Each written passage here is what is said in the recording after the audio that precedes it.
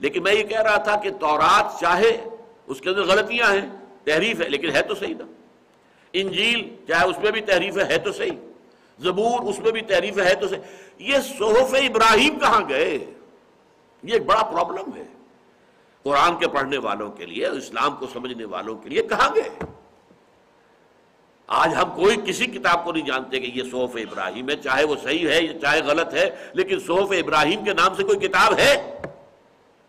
Exist नहीं करती। मेरे गुमान में जो मैंने कई मरतबा किया है कि हिंदुओं के उपनिषद जो है, वो सोहफ इब्राहिम है। और ब्राह्मा का जो तस्वुर आया है हिंदुइज्म में, वो दर हकीकत इब्राहिम का की बदली हुई शक्ल है। कुछ लोग नस्ल इब्राहिमी के जो है, वो आए हिंदुस्तान के अंदर। एक तो आपको मालूम होना चाहिए कि हज़रत हाजरा से तो एक बेटा था, हज़रत इस्माइल। फिर हज़रत सारा से हज़रत इसहाक हुए।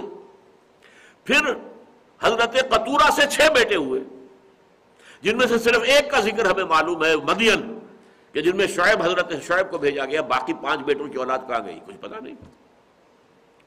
फिर हज़रत इसहाक के यहाँ दो बेटे हुए और दोनों हुए जुड़वा ट्विंस और उन दोनों के अंदर पहले जो वलादत पाया, चाहे चंद मिनट का फ़र्क होता है, लेकिन होता तो है, कोई पहला है, वो बाद में है। एकदम तो दो बरामद नहीं होते वहाँ के पेट से। तो जो बड़ा था, उसका नाम ईसू था। और जो उसके बाद आया है और उसके पीछे आया है अकब, उसी से उसका नाम याकूब पड़ गया, पीछे आने वाला। याकूब, अकब से कहते हैं। तो याकूब की औलाद तो बारह कबीले जो है, बनी इसराइल के, वो हमें मालूम है, जो निकले थे मिस्र से, छह लाख की तादाद में। और बुक ऑफ़ एक्सोडस जो है, बाइबल की, किताबुल खरूज, उसके अंदर जो है, सारा का सारा मौजूद है। फला कबीले के इतने मर्द, इतनी औरतें, इतने बच्चे, फला के इतने मर्द, इतनी औरतें, इतने total six lakh six hundred thousand थे जब वो निकले हैं मिस्र से। लेकिन ईसु की औलाद कहाँ गई? ये भी एक और तरफ़ बात है।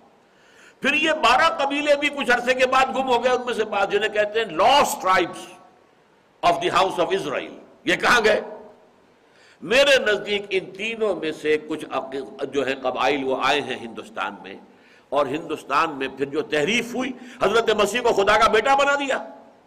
वो तो कुरान में अगर वजाहत ना हो तो हमें कैसे मालूम हो हज़रत मसीह तो अल्लाह के रसूल थे, वो बेटे बेटे तो नहीं थे। जैसे और नबी थे और रसूल थे, ऐसे हज़रत मसीह भी रसूल थे।